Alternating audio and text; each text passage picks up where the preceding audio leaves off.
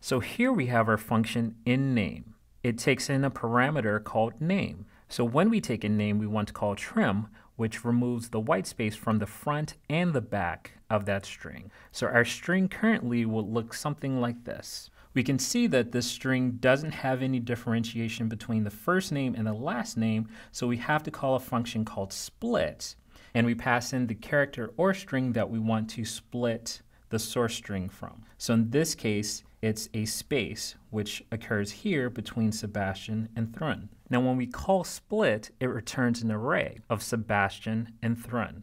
Our next line here prints out that to the console. This next line, name1 equals name1 to uppercase, changes our last name to totally uppercase. So in this array down here, we have name 0 and we have name 1, which has been turned into totally uppercase. This next line is a little bit tricky. Let's take it piece by piece. Name 0 dot slice to uppercase.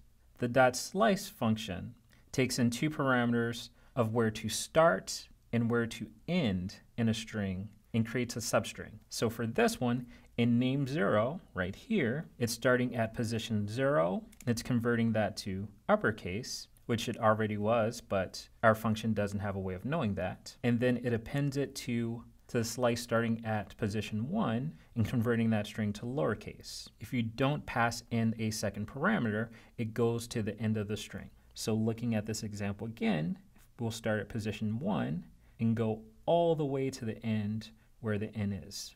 So our last line takes those two values and appends them together. It returns it as a string, and our string becomes all done.